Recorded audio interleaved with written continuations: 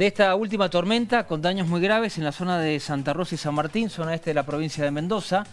Sucedió en la jornada de ayer, se dividió en dos núcleos, tal como lo han comentado los distintos profesionales del tiempo.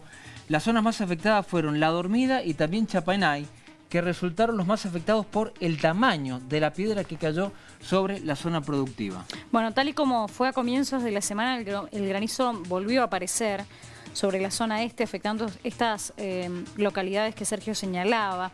La, tormenta se desató anoche, formando distintos núcleos, eh, entre ellos principalmente el de Santa Rosa y en menor medida en Junín y Rivadavia.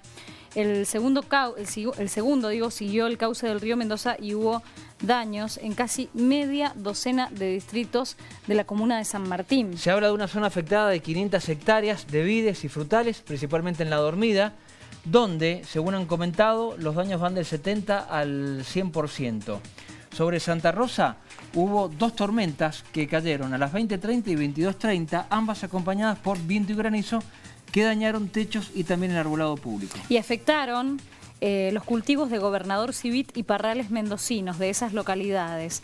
El cálculo hasta el momento lo que indica es que hay unos 60 productores afectados por estas dos tormentas y que en total eh, hay cerca de 500 hectáreas dañadas, muchas de ellas con pérdidas que podrían alcanzar el 100%, es decir, pérdidas totales. Gracias a ustedes por las imágenes enviadas durante la tarde noche de ayer y también durante gran parte de la mañana.